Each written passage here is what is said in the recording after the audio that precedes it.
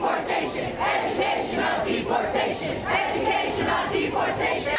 Free the kids now. Free the kids now. Free the kids now. Free the kids. Free the kids now. Free the kids now.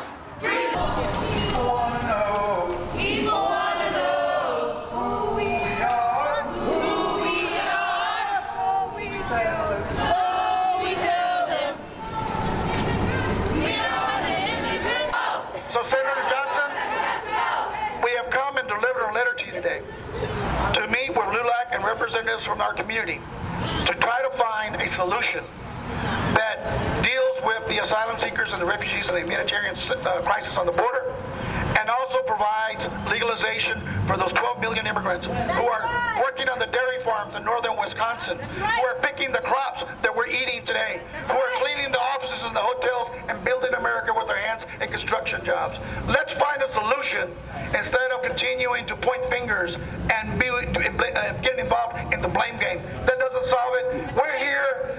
Come and talk to us, and if not, we'll meet you here in Milwaukee, or we'll go see you in D.C. and also on the fourth floor we can uh, be taking laps and chanting and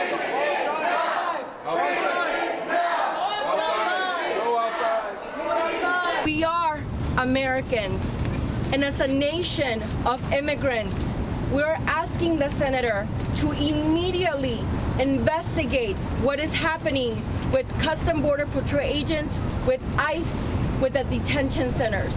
The fact that we have babies, babies, niños, in cages, the fact that we have parents who are being separated every single day in America is taking us back to a period that we want to forget.